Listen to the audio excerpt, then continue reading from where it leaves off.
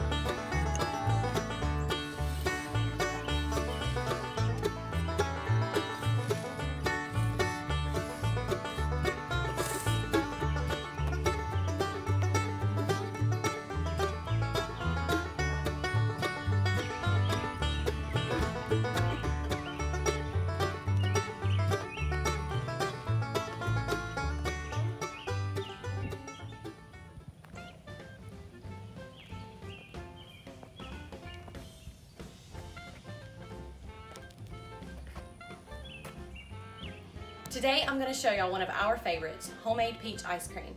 And peaches are in season right now pretty much everywhere. And if you don't have access to some local peaches, you can just use canned ones. But today I'm going to show you how to take fresh peaches and turn them into ice cream. The recipe that I'm using is going to be posted in the comments, so you can go there um, if you want to try this recipe out. So I've gone ahead and I've peeled um, some peaches and I have them in my little blender. And I'm gonna just take you step by step. But pretty much all you need are the fresh peaches, some sugar, some cream, some milk, um, some condensed milk, evaporated milk, and that is all that I use. And I always put a dash of vanilla in mine, but that's all you need. The first thing that we're gonna do is to blend up our peaches.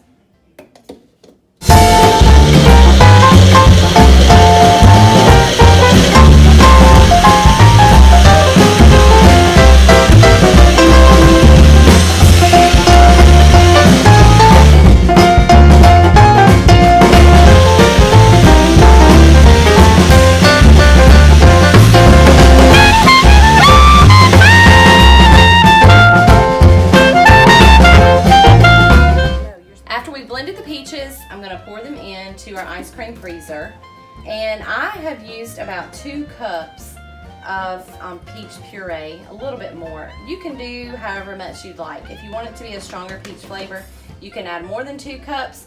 If you want it to be less, you can add less than two cups. So now I'm gonna add the rest of the ingredients to our ice cream freezer. The sugar, I always add the sugar first and then I try to stir it up with whatever's in there. And since we have the peaches, I'm gonna go ahead and stir that up just to get the sugar dissolved.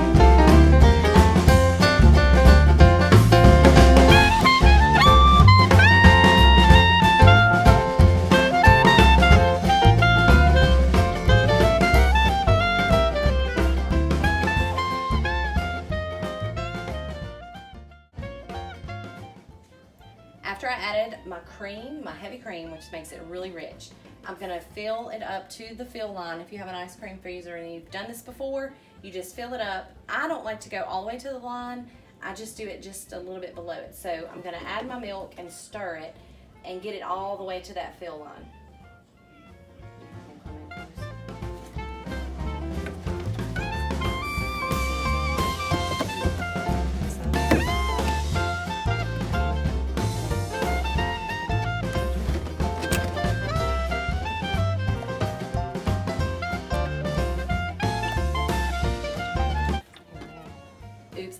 Above to the fill line, but I think it'll be okay.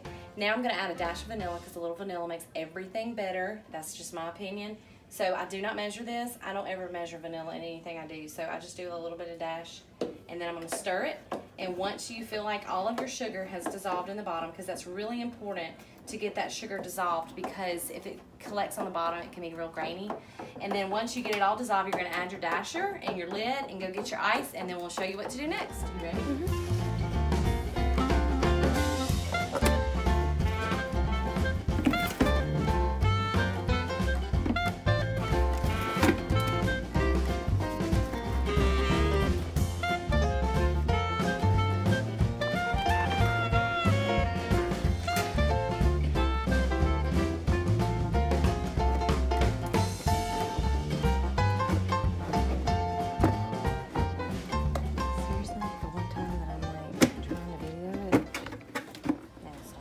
So I brought everything outside. I like to make my ice cream outside just because as the ice melts, it will, um, the water will flow out and you'd have to stand at the sink for at least 30 to 45 minutes. So it's just much easier and much more pleasant to come outside and do it.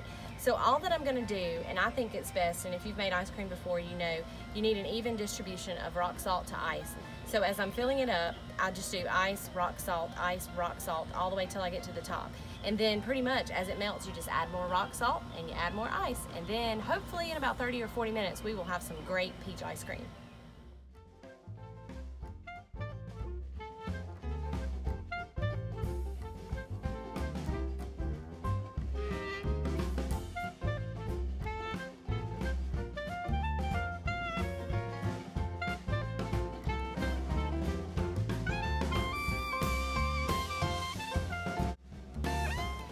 So um, it stopped churning, which means that it is done and that it is frozen. So what I'm gonna do next is I'm gonna drain out some of this water and I might get wet in the process, but I'm gonna drain out some of that salt water um, just because I'm gonna take it inside. I'm not gonna drain all of it out because we want it to stay cold. But what I'm gonna do next is, and I don't know if whenever you've made ice cream, if you have a favorite way to do it or not, but what I like to do is to take the dasher out and put the lid back on and then pack more ice on it and put a towel over it and let it sit for a couple of hours. I think it just gets it a little bit harder and um, a little more firm so it makes it taste a little bit better. But check it out.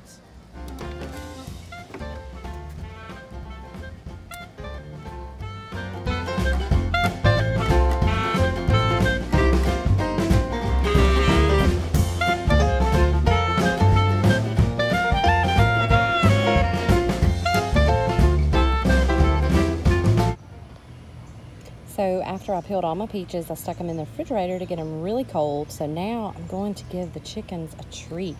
They should be really, really excited about this.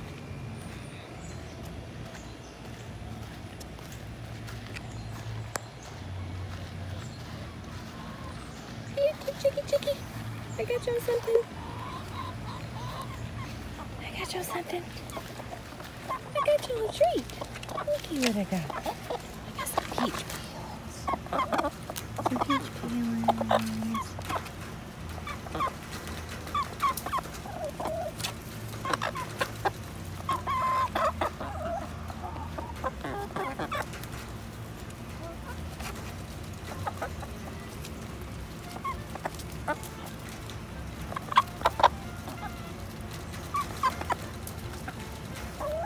Have to be careful. They'll pick your fingers.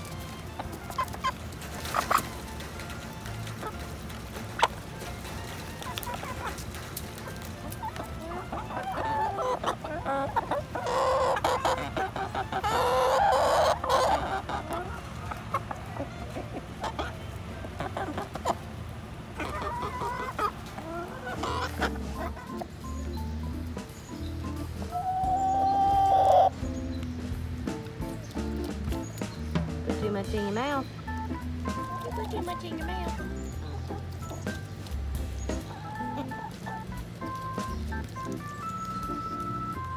If you enjoy our videos, hit that like button. And don't forget to subscribe to our channel and hit that notification bell to get notified every time we post a new video. Happy 4th of July!